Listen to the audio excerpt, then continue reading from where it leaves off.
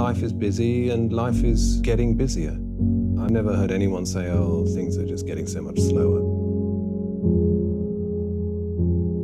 So I wanted to make a piece which got an element of a sort of a quiet protest about it.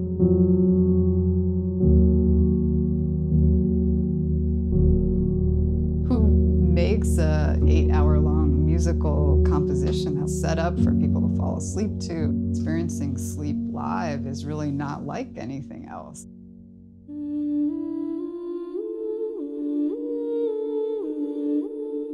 There's this incredible thing that happens when you start just drifting in and out of this dreamy space.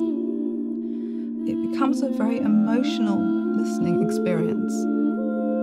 It's an artwork, and it's to be experienced, you know, in the way that we experience a landscape. Music is my sort of vehicle for traveling through the world, you know, sort of getting through life. It's, it's like I write music to do that. And this piece is obviously a very extreme in some ways. It's a gigantic thing.